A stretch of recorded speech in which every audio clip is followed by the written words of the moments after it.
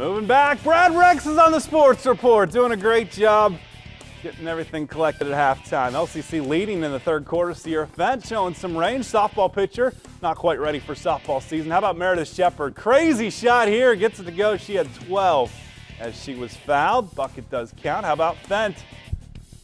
Takes the entry pass and goes right to the rack for two more, but too good of a passing game for Coach Krieg's ladies. Sydney Moeller, two of her 14 hitting the baseline jumper. Kayla Veroff, the soccer goal gets 19. LCC puts it in cruise control, winning by 30. They pull away in the second half.